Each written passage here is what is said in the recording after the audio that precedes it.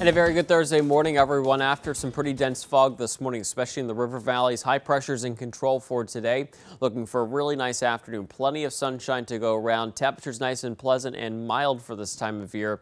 We'll see our highs into the mid to upper 60s. Wouldn't be surprised if a few spots reaching right around 70 in the valleys. As we head into tonight, we will look for a mainly clear sky. High pressure still in control. We'll look for some areas of some fog developing late once again.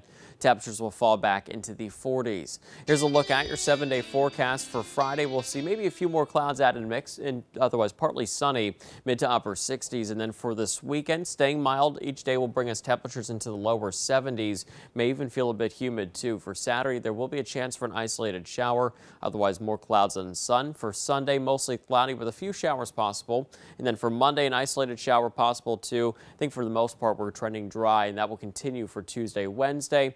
Temperatures on Monday, lower 70s. We're right around 60 for Tuesday.